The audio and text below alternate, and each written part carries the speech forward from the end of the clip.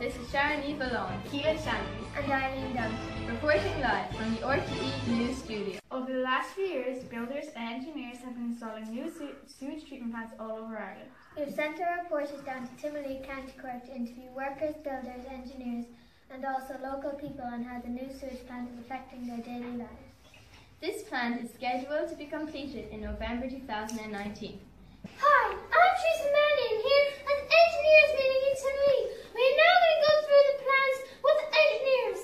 Hello, my name is Stephen McCormack and this is the Timoleague Courtmacsherry Sewage Scheme Plan.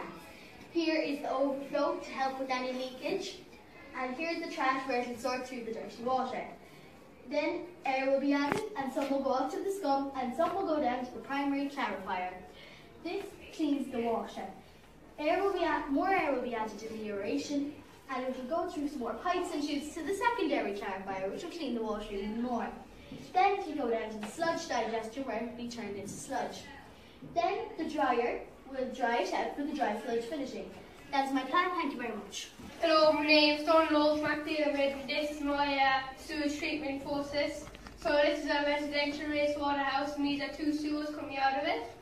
And then this is the industrial wastewater building where all the wastewater goes and then there's more two sewers coming out of that.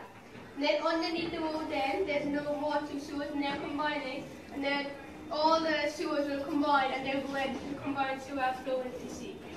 But some of the water will still go, not all of it will go, only some, and the rest of it will go to the treatment facility where the water will get treated, and the treated water will then go to the combined sewer flow in the sea. So thank you very much. With engineers Susan O'Brien and some construction workers. Susan, are you at now? Well, we've put down the pipes and we've started the primary clarifier. Can you tell me exactly what the primary clarifier does? Well, the primary clarifier takes the solids out of the water, and the secondary clarifier cleans it even more. Can you show us your plan? We have an emergency generator in case of any blackout. Uh, we've got a ballroom, a primary clarifier, a secondary clarifier, and we've got four more. We've got our digesters, and we've got our liquid chlorine. That's very, they're very small, but they do a big job. And we've got our aeration basins. They're very important. I'm here with local owner of Foley Centre, Jennifer Foley, a worker at Marie Collins. Is your stock being delivered on time? Yeah, sometimes, sometimes the lorries find it difficult to turn.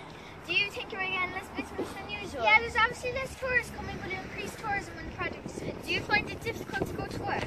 Yes, sometimes I have to take a longer route to avoid the roadwork. I am here with the local TD, Jim Daly. Hello Jim, are you happy about the new sewage treatment plant? Oh yes, I'm delighted that the that the village is doing something about the sewage. Have you been to any of the meetings held? Oh yes, I find them very interesting. I was at one last Monday. Thanks Jim, over to you Pastor. I'm now with Principal and Vice Principal of Timoleague National School. How do you feel about the work going on just outside your school? The noise can be a bit interrupting, however, I'm all for the sewage treatment plant as we are a green school. Does it delay any of the children on their journey to school? Yes, the bus has to leave a bit earlier. And some children get delayed by the traffic lights. That's all for tonight's news. Good night.